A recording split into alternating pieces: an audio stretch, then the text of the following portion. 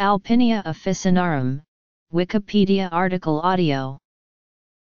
Languas officinarum p.h.ho. Alpinia officinarum, known as lesser galangal, is a plant in the ginger family, cultivated in Southeast Asia. It originated in China, where its name ultimately derives. It can grow several feet high, with long leaves and reddish-white flowers. The rhizomes, known as galangal, are valued for their sweet spicy flavor and aromatic scent. These are used throughout Asia in curries and perfumes, and were previously used widely in Europe. They are also used as an herbal remedy.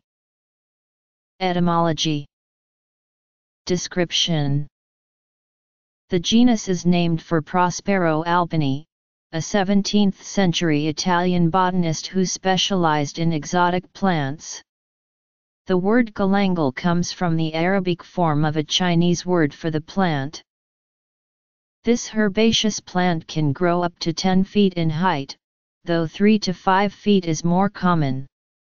The leaves are lanceolate, and the flowers are white with streaks of red, growing from a spike at the top.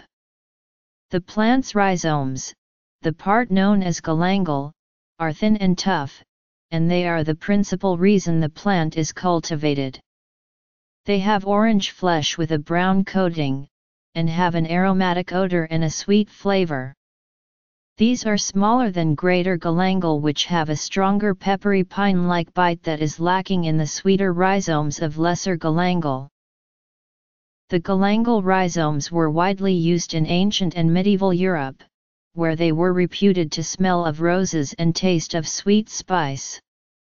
Its use in Europe has dramatically declined, however, and is now mainly used in Eastern Europe. It is used in Russia for flavoring vinegar and the liqueur nastoika. It is still used as a spice and medicine in Lithuania and Estonia.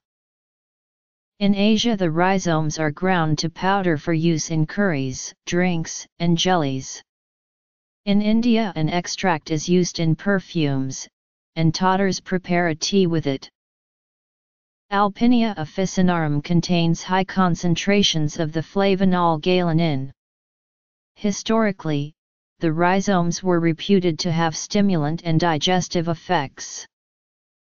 Uses Lesser galangal is native to China, growing mainly on the southeastern coast, and it grows in Hainan, Japan, Thailand, Vietnam.